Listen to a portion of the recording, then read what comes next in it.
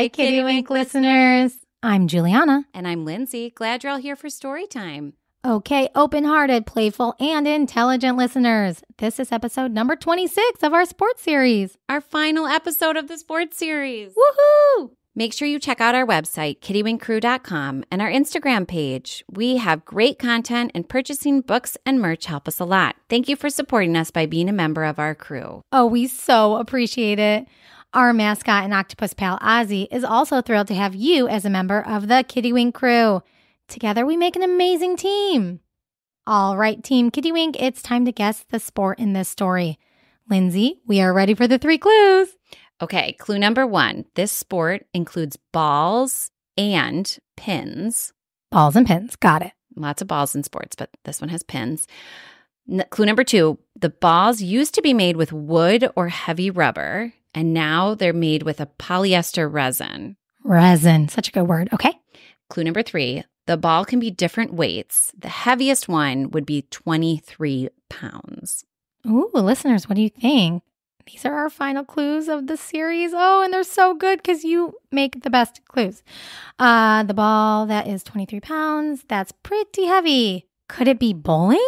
Yes. Oh my gosh, I know. I would never use a 23 pound ball. I much prefer an eight pound ball, like like the main character in this story. Listen for geometry and geography in the story. Remember, geometry is mathematical and geography is about locations. Let's go, team. Come along with us. It's time to listen, and then we'll discuss. Ready? Go, team. Carry. Gunnar lives in Iceland. He lives in Reykjavik, which is the capital and largest city of Iceland. It's the world's northernmost capital, so it's not surprising that it's one of the cloudiest and coldest cities in the world. Luckily for Gunnar, there are many things to do indoors. His favorite indoor activity or sport is bowling. Oh, bowling is so fun. That's Ozzy's favorite sport, too. Well, too bad Ozzy doesn't live in Reykjavik. I'm sure he would have a lot of fun on Gunnar's team. Yeah, I'm sure, except for he's an octopus, and I don't know if he can handle the cold. Good point. Every day after school, Gunnar stops at the bowling alley. It's right between school and his house, so it's a perfect pit stop. Anna, the owner, is always so nice to him, and it's his favorite time of the day. Hi, Anna. Gunnar said as he walked into the bowling alley one cloudy day in May. Hi, Gunnar. How was school? Anna asked. Fine. I have a little math homework I need to finish, but then I'm ready to bowl. Actually, could you help me with this? It's all about triangles. Gunnar asked Anna. Triangles? My favorite 2D shape. Spheres are obviously my favorite 3D shapes. Duh, bowling ball. Exactly. But triangles are just as cool to me. Have you ever noticed that the holes in a bowling ball create a triangle if you connect them with lines? Anna said. Oh, good point. Hmm. Now this homework is a little more interesting. Gunnar said, and with a little help from Anna, he completed it with a smile on his face. And then he went to his locker and got his ball. Oh man, he really loved his bowling ball.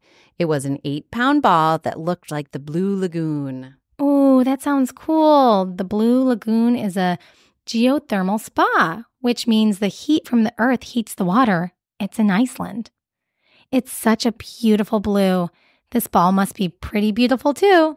It is. It's blue with some white to represent the steam that comes off the Blue Lagoon. Ooh. But beyond its looks, he loved it for many reasons, mostly the memories. Gunnar had that ball for so many years. It was with him when he won the kids' championship three years ago. It was with him when he got his first turkey two years ago. Oh, wow. Good for him. A turkey is when you get three strikes in a row. Yes, and Jules, did you know it's called a turkey because long ago you used to win a food basket or even an actual turkey if you won a bowling tournament? Oh, wow. I did not know that. So, yes, this ball witnessed his first turkey. And then also last year, it was with him when he got his first perfect score. Woo! He was never going to get rid of it. It was obviously good luck and oh so special. He grabbed it and brought it to his favorite lane, lane eight, because it matched his eight pound ball. He laced up his bowling shoes and was ready to practice. He stuck his fingers in the three holes in the ball. Now he noticed it looked like a triangle. Ouch! He said quietly. Oh, he really had to shove his fingers into the holes. Did the holes get smaller somehow? Silly Gunnar, that's not possible. Doesn't he realize his fingers must have gotten bigger? Right. Well, he figured it was all fine and stepped back to roll the ball with his fingers stuck nice and tighty, tight, tight. He said his favorite little saying before throwing the ball. Blue Lagoon, bowling ball, let those 10 white pins fall. He brought the ball back in the air and flung it forward. Oh my gosh, ah! Gunnar said and landed with a crash. Gunnar, are you okay? Anna asked and ran over to check on him. His hand had gotten stuck in his ball, and when he threw it forward, the ball took him with it and he slid down the alley. Uh, yeah, I'm okay. Mostly just embarrassed. Gunnar said. How did that happen? Let me see your ball, Anna said. Wait a second, Gunnar. This ball is way too small for you. It's way too light, and the holes need to be a lot bigger. No wonder you fell. No, no, it's fine. See? Blue Lagoon, bowling ball, let those 10 white pins fall. Gunnar said and threw it again, or tried to at least. Ouchie! Ah. He yelped as he fell down the alley again. Gunnar, let me show you some other options. I have other balls right here you can buy. And Anna raced off to get some 10 pound balls. I know you love that it looks like the Blue Lagoon, but what about this one? It has some very special green colors and was inspired by the Northern Lights. Gunnar picked up the beautiful ball and noticed that it felt pretty heavy. The two extra pounds were definitely noticeable. How would he roll it? Thanks, Anna. It's cool. It's just not the same. You're right. It's not the same, and it's not meant to be the same. Do you wear the same clothes now that you did when you were three years old? Anna asked. Of course not. Gunnar replied. Well, as we grow and change, sometimes we have to change the things we do or have. I've changed my bowling ball many times. I have a good feeling about this one for you, Gunnar. Gunnar left the new ball in his locker, but still wasn't convinced it was right for him. He took his Blue Lagoon ball home and left it in his closet in case he wanted to go back to using it. The next day, he was back at the bowling alley. He pulled out the Northern Lights 10 pound ball and brought it to lane 8. Okay, here goes. Northern Lights bowling ball, let those 10 white pins fall. Did he get the strike? Not at first. He actually missed all the pins the first roll. Eek! But he got better and better resilience with the ball each time he tried it. And he realized that the heaviness of the ball actually helped knock the pins down, too. He was getting stronger and more confident with each roll. Thank goodness the Northern Lights ball ended up being just the ticket. All right, Gunnar and no more sliding or falling down the bowling alley. And that's the end. Let's call a Kiddywink. Hi, Kiddywink. Can you tell us your name and where you live? My name is Adeline and I live in Oaks Park.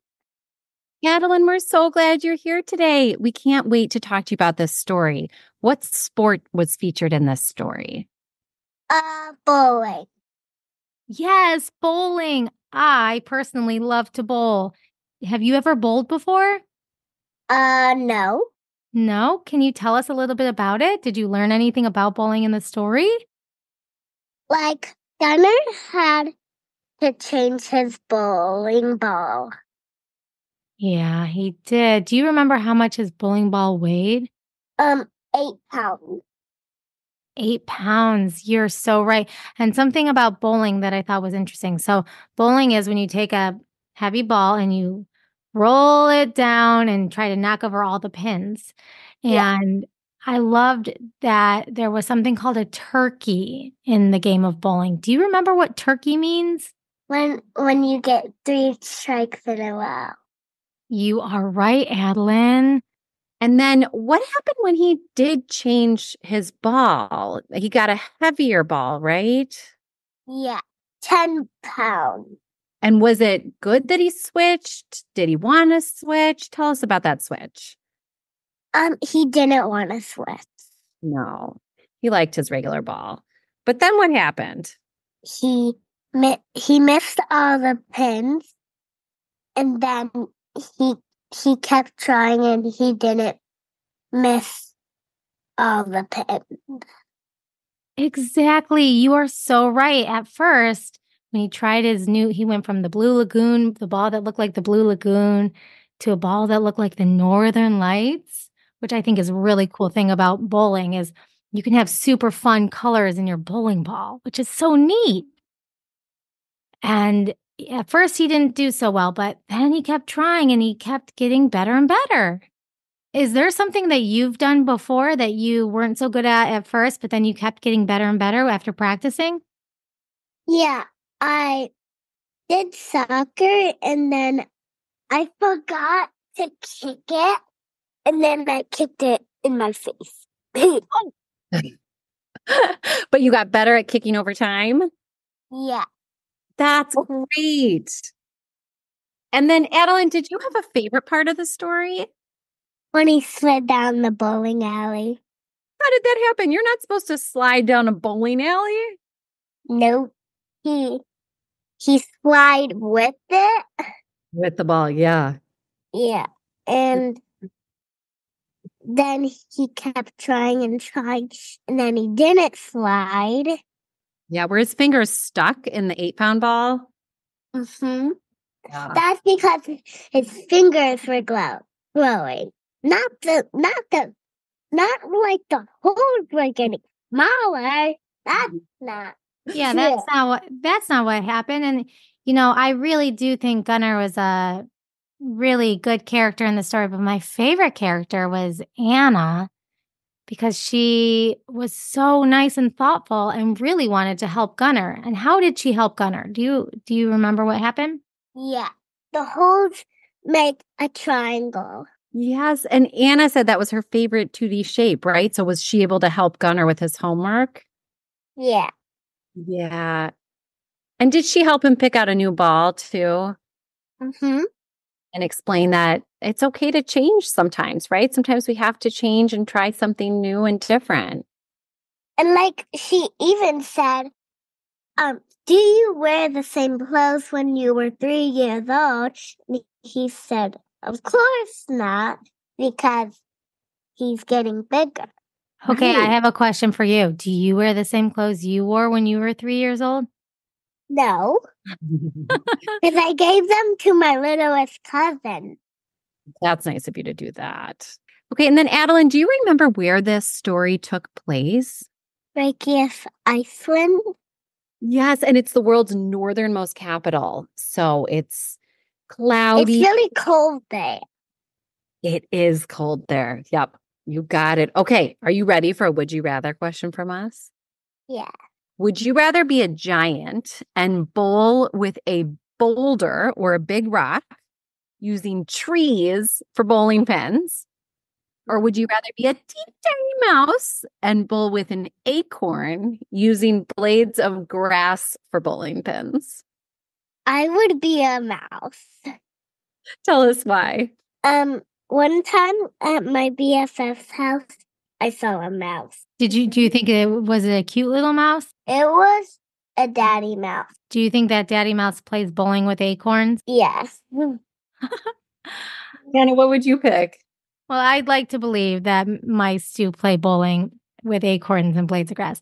I would, however, as fun as it would be to be a tiny little mouse, I would rather be a giant for the day and bowl with a boulder, knocking over some big trees because it would just be fun. I'm pretty short.